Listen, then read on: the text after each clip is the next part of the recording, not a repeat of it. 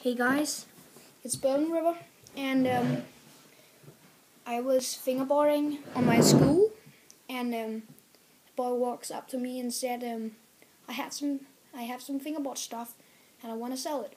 And um, he told me what he had, and um, I bought something, and it's this Flatface G12, and it's just awesome.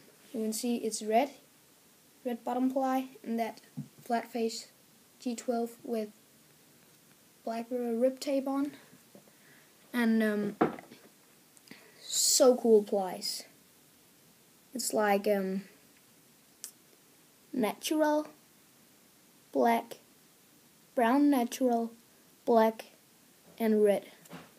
And you can see um, there's kingpin holes that goes through three plies, goes through the red and the black and the brown and goes down to the black ply here.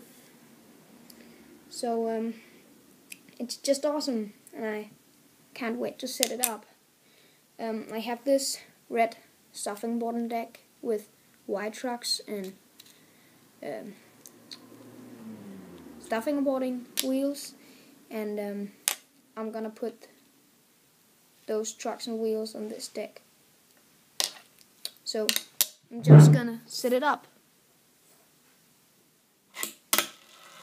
Hey guys, I'm back again. And um, just set my new Flatface up.